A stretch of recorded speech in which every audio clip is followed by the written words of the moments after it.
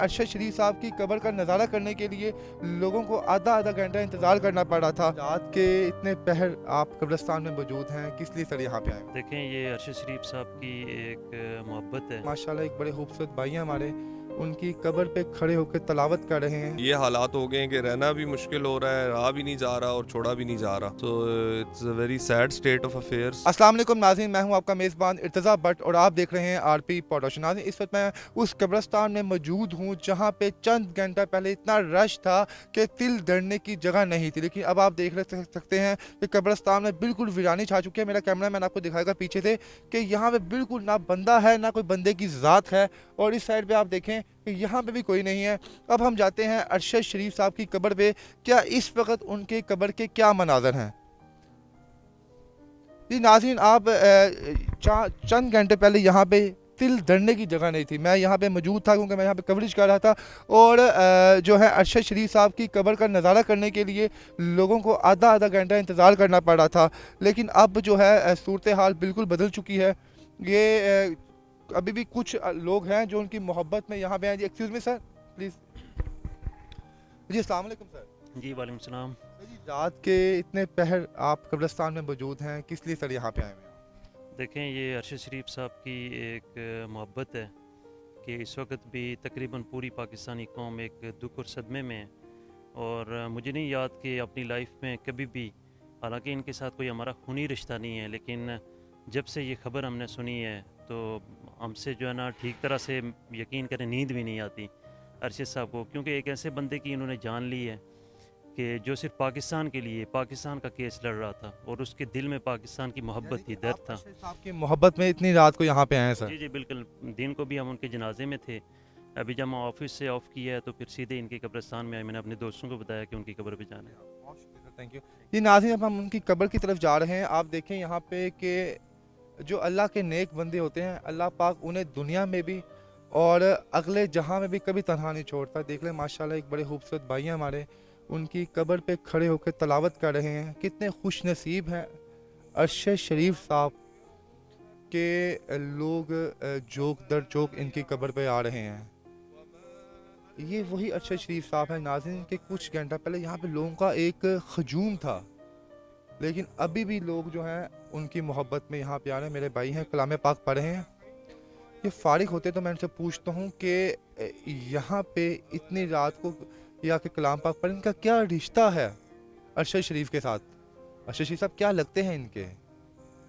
अभी तो फ्री होते हैं तो हम इनसे बात करते हैं इनका इनके साथ क्या रिलेशन है? खैरियत से ठीक ठाक है। सर रात के तो कोई अपना भी कब्र पे नहीं आता डर के मारे। तो आपका क्या अरशद साहब से इतना करीबी तल्लक है कि आप माशाल्लाह दिलजोई से जो है उनके लिए नजराना है कुरान पाक जो है पेश कर रहे हैं। Sir what tragedy I believe मैं दिन को तो नहीं जा सका जनाजे पे बट बहुत से हमारे भाई वहाँ गए लॉट ऑफ़ कंट्री मैन देर अल्लाह इनकी मफफरत करे। बड़ी ट्रेजिडी है। ये बहुत ही ट्रेजिडी है। और हम सारे ये आप बिलीव यू मी हम जॉब करता हूँ। ऑफ़िस में कुलीग से बात हो रही थी तो वो यही कह रही थी कि ये मुल्क हमारा बहुत प्यारा मुल्क है लेकिन इसमें अब ये हालात हो गए हैं कि रहना भी मुश्किल हो रहा है रहा भी नहीं जा रहा और छोड़ा भी नहीं जा रहा। So it's a very sad state of affairs but ये है कि अल्लाह इनकी मफरत करे आगे के दर्जात बुलंद करे हम इनसे बहुत गुर्बत थी। वैसे रिलेशन था या वैसे ही आप इनको एज जो है एंकर जैसे हम लोग एंकर जानता हूँ। मैं इनको हमने इनको टीवी पे देखा बोल्ड सहाफ़ी थे हक सच बात करते थे। और इनके साथ जो हुआ है वो किसी के साथ ना हो यार। ये तो नागहानी मौत से तो पनाह मांगी गई है। इनकी वेरी सैड वेरी अनफॉर्चुनेट नहीं होना चाहिए था ऐसे जैसे हुआ अक्षर साहब तो हमारे बीच में नहीं रहे अल्लाह पाक इनका मगफरत अता फरमाए। इनके जाने के बाद हमारे मुल्क के मामला कुछ ठीक होंगे? यार this is a big lesson अगर कोई सीखना चाहे तो इसमें काफ़ी काफ़ी बड़ा लेसन है। और मेरा ख्याल है स्टेट की जितनी भी मशीनरी है, सबकी तरफ़ से इसको इसको कंडेम किया गया है इस किलिंग को और इसको सर्टन करना चाहिए कि ये किस तरह हुई है। आई होप के फ्री और फेयर किस्म की इन्वेस्टिगेशंस हों and we get to know कि ये टारगेट किलिंग थी या नहीं थी जिस तरह इसको पोर्ट्रे किया जा रहा है कि ये एक एक्सीडेंट था। सो आई डोंट थिंक उसमें that's a weak story to begin with तो इतना उसमें शॉर्ट मैं अगर ये कहूँ कि आप सिर्फ़ और सिर्फ़ इनकी अम्मा- ईमानदारी और नडर बहादुर सहाफत की वजह से यहाँ पे मौजूद है तो गलत तो नहीं होगा सर? ये बिल्कुल सच बात है। तो सर उन लोगों के लिए आप क्या पैगाम देंगे जो करप्शन करते हैं? अपने इस मुल्क का जो हमारी माँ है उसका सौदा करते हैं उसको टुकड़ों टुकड़ों में बेचते हैं तो उनको सर आप क्या पैगाम देंगे वो तो बहुत ही गलत करते हैं। अ, वो ये है कि ये मुल्क है तो हम सब हैं यार हमारी आइडेंटिटी आप your good name Irtaza sir. आप इर्तज़ा आप आप हो आप पाकिस्तान से हो मेरा नाम तलहा अब्बासी है मैं हूँ तो पाकिस्तान से हूँ। सिमिलरली एक्स वाई जी हर बंदे की हमारी आइडेंटिटी है हमारी माँ है हमारी होमलैंड है। सो हम सबको इसको इसी तरह ट्रीट करना चाहिए। और इन इन जहाँ तक अरशद शरीफ साहब का ताल्लुक है अल्लाह इनकी रूह को दर्जात बुलंद करे। और एक फीयरलेस आदमी थे जो बहादुर लोग होते हैं उनके अपने डायनामिक्स होते हैं। अ, उनको अल्लाह की दोस्ती भी मैसर आती है मेरा मेरा अपना ज़ाती ख्याल है। एंड उनके पास क्योंकि वो उसका जो दोस्त होता है उसको तो किसी चीज़ का खौफ वो है ना खौफ और गम और मलाल उनके दिलों में आता ही नहीं है जो अल्लाह के करीब होते हैं। इस्लामाबाद में ही है। सर मैं we belong to Murree but हाँ हम इस्लामाबाद में रहते हैं। My father was in the air force I work for a telecom company here in Islamabad तो बस ऑफ़िस से उठ के इधर आ मोहतरमा का भी हमने सुना था उनके इस्लामाबाद में। क्या आपने जो लोगों की मोहब्बत देखी है अरशद साहब के लिए आपने इससे पहले किसी के लिए देखी है नहीं लोग इतना ख्याल है ये अनप्रेसिडेंटेड किस्म का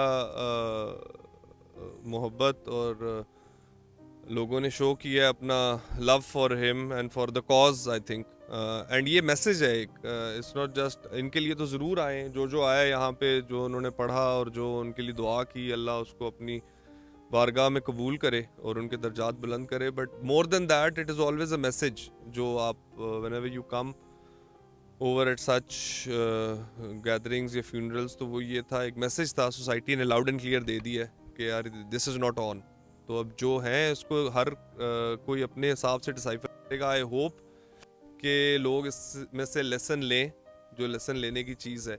और बड़ा ही अफसोसनाक ये है कि इसके ऊपर जो भी, जहाँ से भी जो पॉलिटिकल इस पर इंजीनियरिंग हो रही है, वो नहीं होनी चाहिए।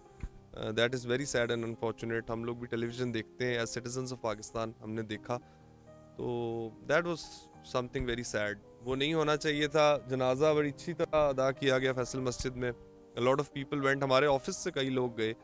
एंड फ्रेंड्स एंड फैमिली से काफ़ी लोगों ने अटेंड किया। अब कबर पे भी मेरे आते होते हुए भी काफ़ी लोग आए दुआ करने। मैं जब यहाँ पे था तो मेरी यहाँ पे भारी बहुत मुश्किल थी। बट उनकी फैमिली के लिए बहुत अल्लाह उनको सब्र दे।